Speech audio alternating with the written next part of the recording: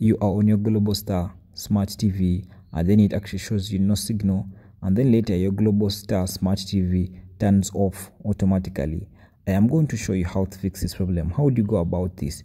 You're going to make sure you press the home button on your tv remote so that you can actually have the home display. Then you go to apps video music then source there to settings icon right there. When you reach settings move down to the common setting right there. Then you press ok on the common settings.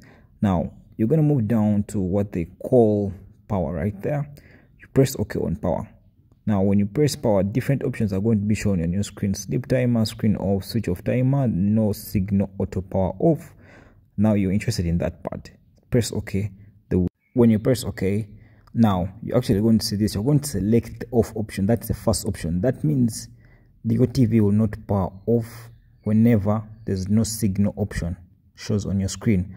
That is how you fix the problem